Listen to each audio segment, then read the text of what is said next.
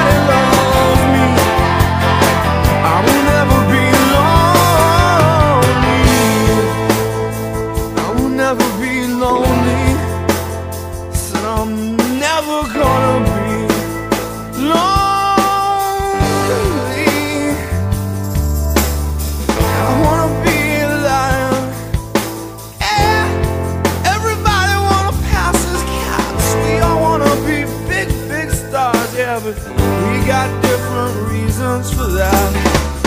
Believe in me, cause I don't